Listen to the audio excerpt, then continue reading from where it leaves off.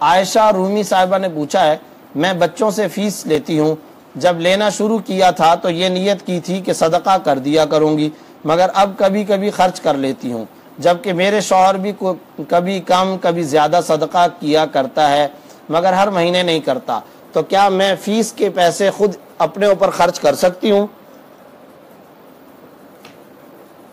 یا صدقے کی نیت کے بعد مجھے سارے پیسے صدقہ کرنے ہوں گے؟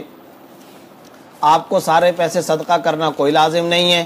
حتیٰ کہ کچھ بھی صدقہ کرنا شران آپ پر بالکل لازم نہیں ہے۔ یہ تو ایک نفلی معاملہ ہے، صرف اور صرف صدقہ کرنے کی نیت کر لینے یا ذہن میں سوچ لینے سے آپ پر یہ فیس کی رقم اب صدقہ کرنا شران کوئی ضروری، کوئی لازم، کوئی واجب نہیں ہوا، بلکہ آپ اپنی یہ رقم جس مصرف میں بھی چاہیں خرچ کر سکتی ہیں، اپنی مرضی سے جہاں چاہیں اپنے اوپر خرچ کریں یا کسی اور پر خرچ کریں